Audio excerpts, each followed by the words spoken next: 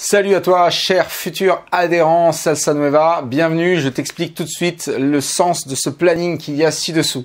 Alors, c'est simple, tu vas voir que dans l'école Salsa Nueva, on est spécialisé sur quatre danses. La salsa portoricaine, la salsa cubaine, la bachata et la kizomba. Pour chaque danse, tu trouveras un planning avec 8 heures de cours dans la semaine, 7 jours sur 7.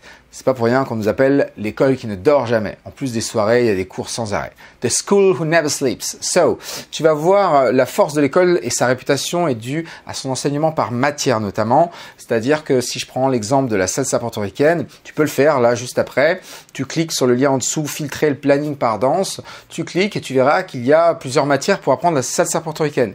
L'expérience a montré que un bon danseur de salsa, c'est pas juste quelqu'un qui fait des passes, c'est quelqu'un qui euh, a une coordination corporelle, qui ressemble à quelque chose, qui sait coordonner ses appuis, ses bras, ses hanches.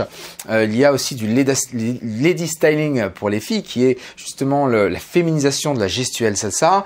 Il y a aussi des shines, des jeux de jambes, de la technique de tour, plein plein de trucs. Et c'est vrai également pour la bachata où il y a de la bachata moderne, sensuelle, dominicaine, du lady styling. Pour la cubaine, il y a euh, des cours avec de l'afro, du styling cubano, des enchaînements, euh, de la suelta, plein de choses. De même pour l'urban keys, la kizomba, la kizomba tradi, le semba.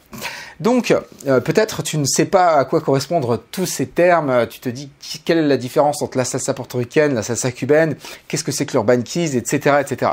Donc, ce que je t'invite à faire, c'est de cliquer dans là aussi la petite rubrique les danses. Pour chaque danse, tu verras un descriptif détaillé de chacune des matières enseignées dans l'école, avec notamment des petites vidéos de démonstration.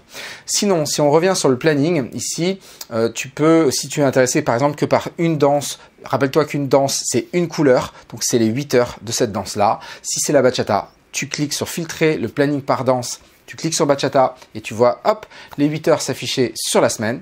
De même pour les autres danses. Ok?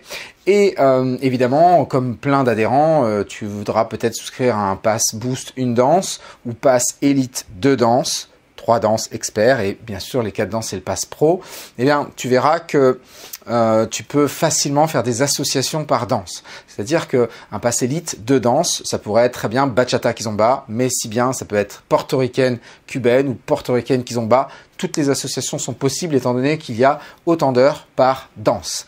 Voilà, j'espère que tout ça c'est clair. On a hâte de te voir dans l'école. Le mieux c'est de créer ton compte D'accord? Et puis, euh, comme ça, après, tu auras accès aux différents passes ou alors à la réservation d'un premier cours d'essai. Hasta luego. Bye bye.